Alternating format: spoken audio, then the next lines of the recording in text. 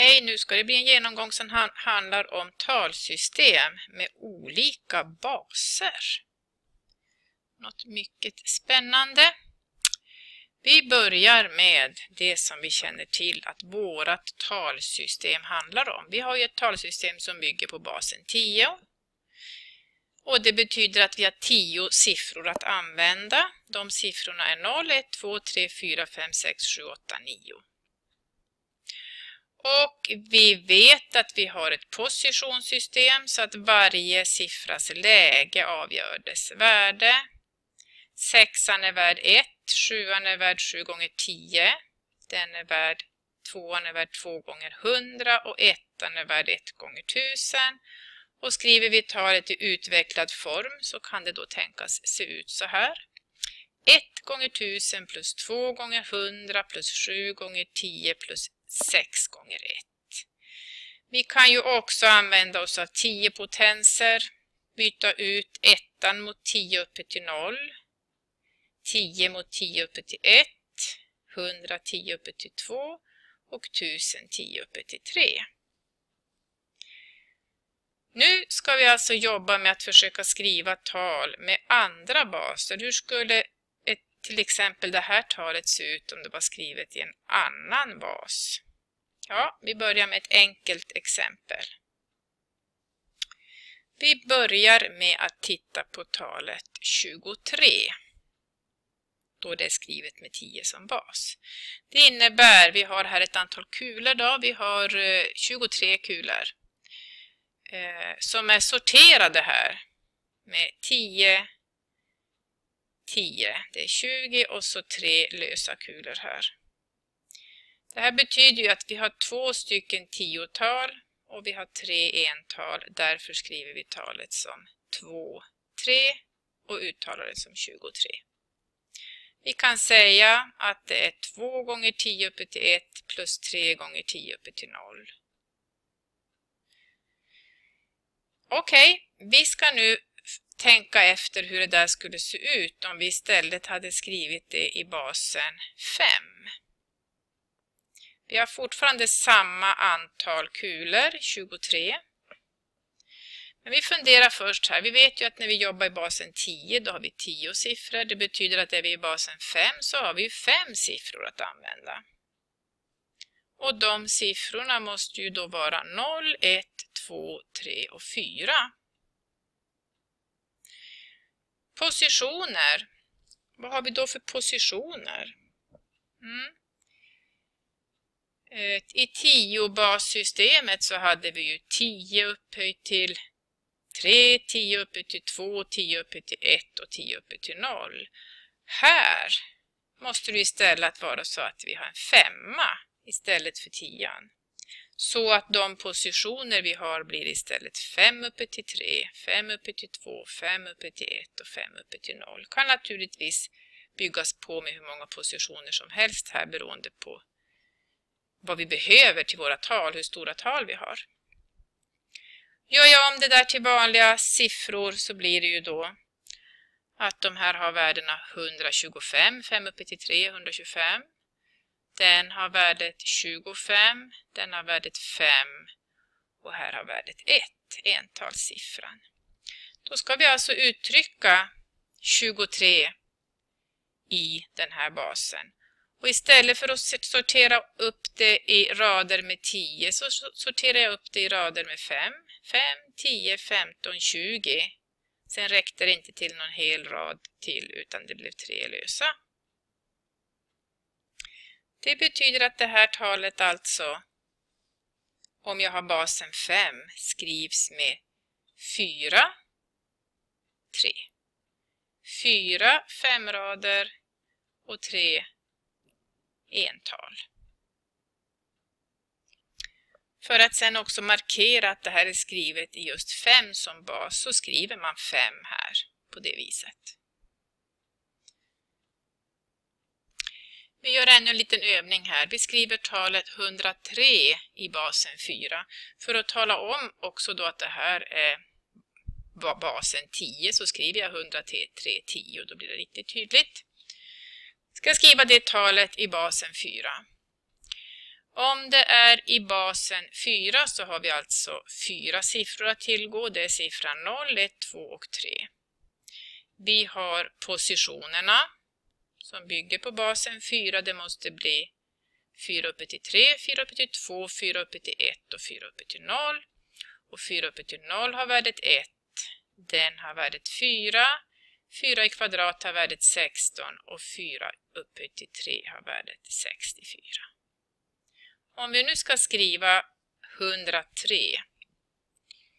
i basen 4 så betyder det att det ryms ju 64 i 103 så det måste bli ett sånt eh, 4 uppe till 3-tal först.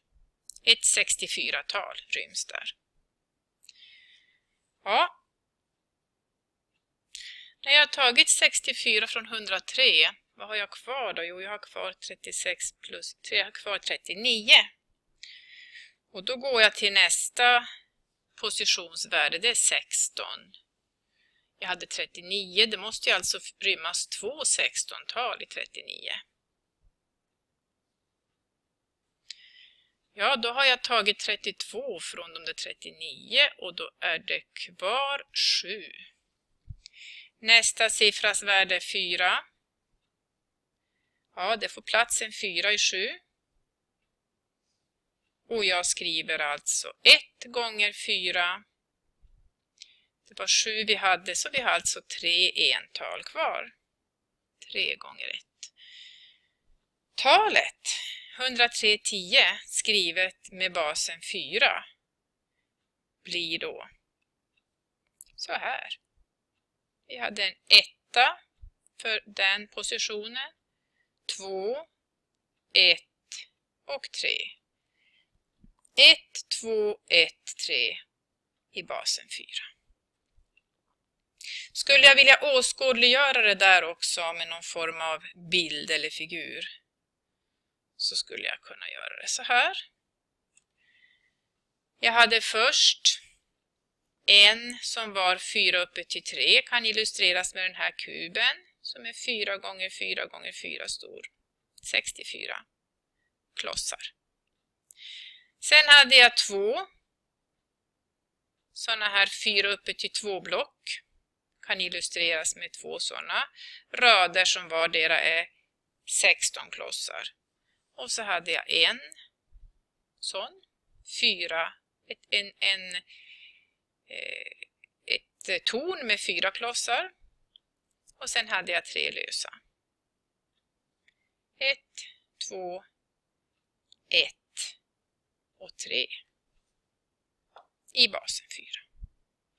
Man kan ju fundera över det här, är det någon, använder man tal i andra baser egentligen? Och svaret är ja, man gör det i vissa sammanhang och något som man använder väldigt mycket är de så kallade binära talen. Det, de används i datasammanhang kan man säga, i datorer. Eh, och de Eh, bygger på basen 2. Och har vi basen 2 så finns det ju bara två siffror att ta till. Det är 1, siffran 1 och siffran 0. Och vad har de här siffrorna för värden, de olika positionerna?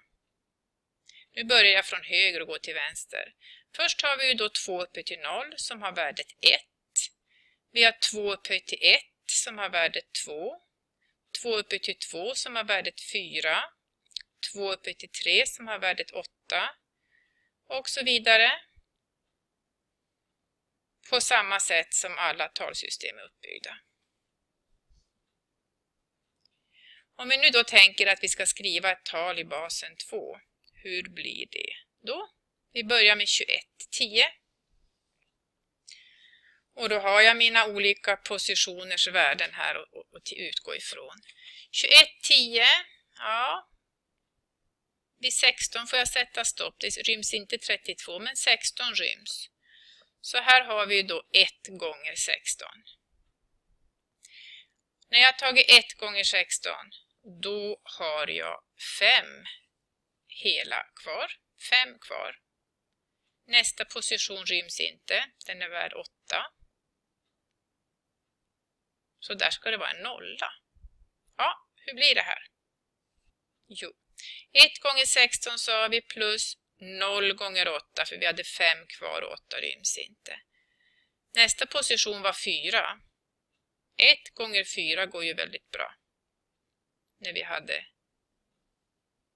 5 kvar. Nästa position är en tvåa. Men har vi tagit fyra av de fem så är det bara en kvar så det måste vara 0 gånger 2 där. Och slutligen 1 gånger 1. Och vad blir då talet skrivet i basen 2? Jo, det kommer ju då att se ut så här. 1, 0, 1, 0, 1. Som sagt, binära tal består alltid bara av ettor och nollor. Ett exempel till på hur vi kan skriva ett tal i basen 2. Vi har 125 i basen 10 och hur blir det då i basen 2? 125, då inser vi att den här positionen ryms ju. För det är 64. Det hade inte gått med nästa position som hade varit 128. Men 64 ryms. Och det blir då alltså 1 gånger 64. När jag tagit 64 så har jag kvar en massa. Närmare bestämt 61 upp till 125. Ja, då får jag plats med 1 gånger 32 också. Och har jag tagit det så finns det kvar 29. Och eh, då ryms ju 16 också med en, en gång. Och när jag tagit 16 från 29 så finns det kvar 13. Ja, då ryms även nästa position, 1 gånger 8. Och då har vi kvar 5. Nästa position hade värdet 4. Ja, det går bra. 1 gånger 4 har vi tagit då från 5 och det är kvar en 1. Ryms tvåan? Nej, det blir 0 gånger 2. Men vi hade kvar en etta så det blir slutligen 1 gånger den sista positionen 1. Skriver jag då ut det här talet i 2 som bas så kommer det alltså att vara 1, 1, 1, 1, 1, 0, 1 i basen 2.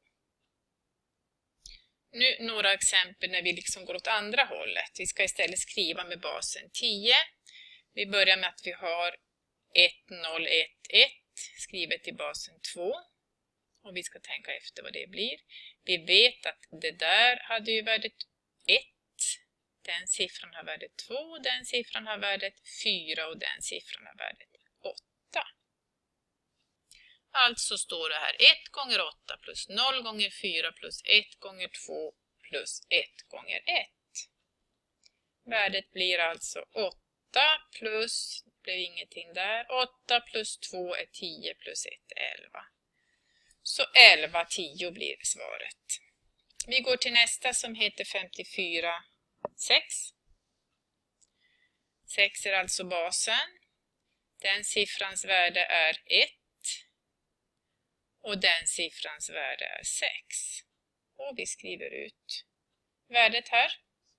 Vi har alltså 5 sextal, det vill säga 5 gånger 6 plus 4 ental, 4 gånger 1. Det blir 34 skrivet i basen 10.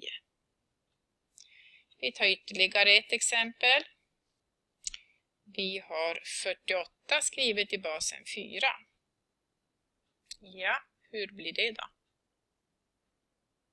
Ja, här reagerar vi och säger att det här är inte möjligt.